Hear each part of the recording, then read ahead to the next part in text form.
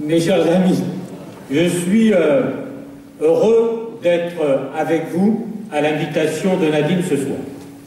Euh, elle m'a rajeuni d'ailleurs en me présentant comme député de la Moselle. Je suis déjà un vieux et sage sénateur.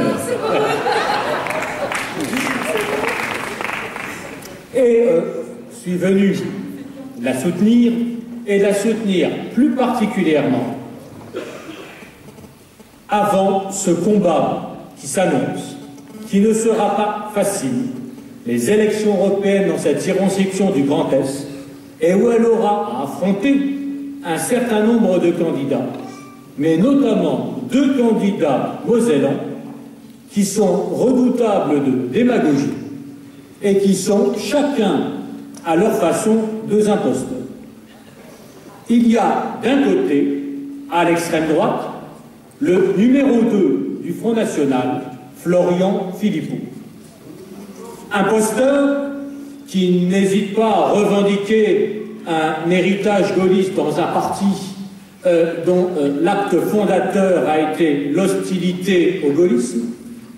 Imposteur lorsqu'il prétend servir la Moselle et la Lorraine alors qu'il est le plus anti-européen de tous les dirigeants du Front National et que, en Lorraine, et notamment en Lorraine Nord, notre force, notre atout, notre première ressource, c'est la proximité avec l'Allemagne, le Luxembourg, la Belgique et ses agents transfrontaliers. Et lui non seulement abandonner l'euro, mais refaire des frontières, des frontières dont c'est limites aujourd'hui que franchissent euh, plus d'une centaine de milliers euh, de travailleurs lorrains euh, pour assurer la prospérité de leur famille. Et il y a l'autre imposteur. L'autre imposteur, à gauche, c'est Édouard Martin. Édouard Martin, vous l'avez tous vu à la télé. Il parle pas très bien, mais il a une très grande gueule et il a tous les culots.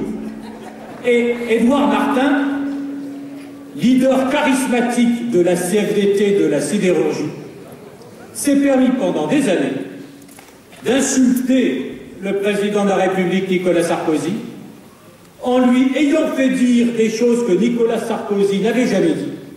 Mais il ne pardonnait pas à notre président de la République d'avoir eu le courage de venir sur place quand il y avait des problèmes, essayer de tout voir, de tout envisager pour sauver euh, la Syrie de Gandalf.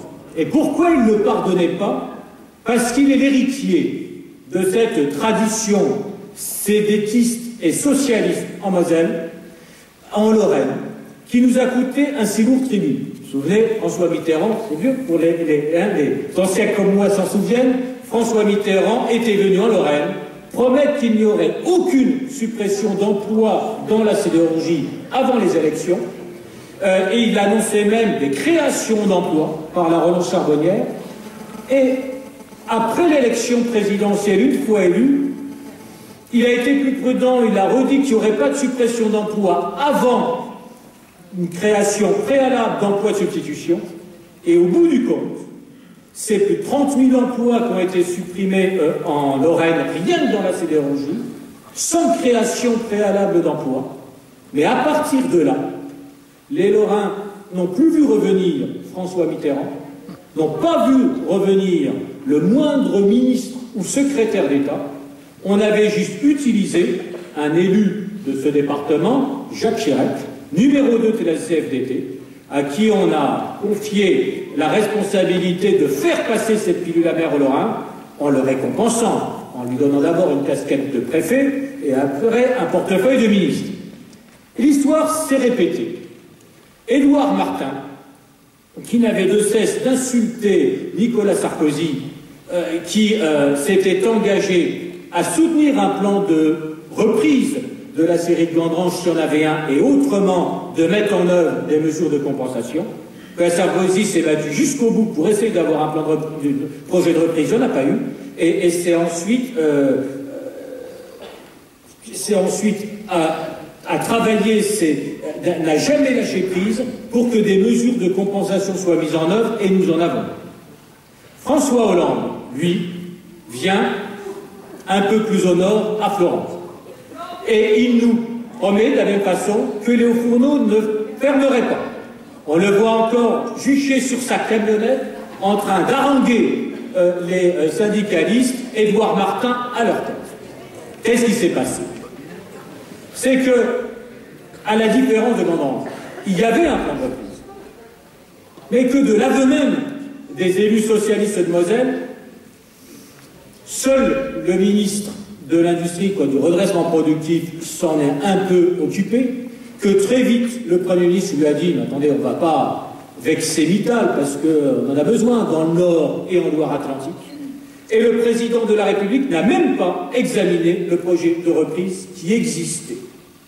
Et il est venu en Moselle, après un numéro de cinéma qu'avait joué Édouard Martin, essayer de nous vouer la réconciliation avec Édouard Martin en promettant des mesures de compensation ridicules, dérisoires, hein, créer un centre de recherche public à 20 millions d'euros, alors même euh, qu'on a à 10 km de là la NASA de la sidérurgie, le centre de recherche vitale, enseignement IRSID, qui lui vaut des milliards d'euros, et en faisant croire, en créant même pas d'emplois productifs en substitution, qu'on allait compenser la fermeture. Et Édouard Martin, qui avait dit qu'il serait le cauchemar de François Hollande s'il fermait les hauts fourneaux, eh bien, s'est transformé en agneau doux, euh, un agneau doux qui a été récompensé de sa trahison par une candidature en tête de liste aux élections européennes. Cette candidature, cette place assurée au Parlement européen pour Édouard Martin, ce sont les 30 deniers de Judas, pour avoir trahi, 30 ans après, comme ça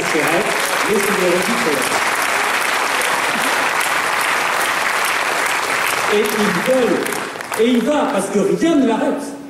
Il est capable, chez les ouvriers, de faire une campagne à la, Jean, luc Mélenchon, et en promettant tout et son contraire, et lui, qui n'a même pas été foutu d'assurer la défense de l'acierie, de, la défense des hauts fourneaux de Florange, euh, et de se battre pour un point de reprise, va vous promettre qu'il est capable de changer toute la politique à l'échelle de l'Europe. Donc il faut dénoncer cette imposture fortement. Il y a deux impostures. Deux impostures par des personnages parfaitement capables de tenir le double langage. Et en face, je suis heureux que l'UMP ait choisi la meilleure. Face à ces deux imposteurs, vous avez quelqu'un qui ne connaît pas le double langage avec Nadine Morano, qui est l'exemple même de la franchise et de la droiture en politique. L'adepte même, on pense pas vous parlez vrai, et qui est incapable de vous dire ce qu'elle ne pense pas.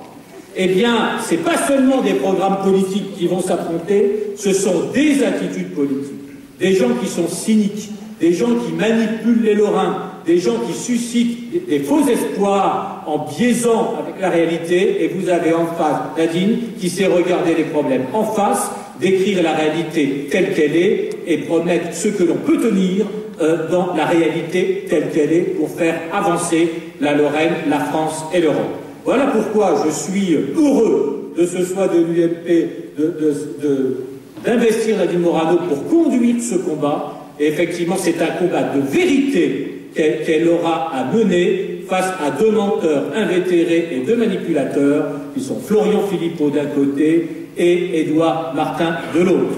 Et je terminerai en disant que Édouard Martin, très mensongèrement, avait promis qu'après avoir été le cauchemar de Nicolas Sarkozy, il serait le cauchemar de François Hollande si celui-ci fermait les hauts fourneaux. Les hauts fourneaux sont fermés. Je tiens à ce que François Hollande ait effectivement un cauchemar, mais le cauchemar que vous, devez lui offrir, c'est l'échec d'Édouard Martin en Lorraine et la victoire de Nadine Morano.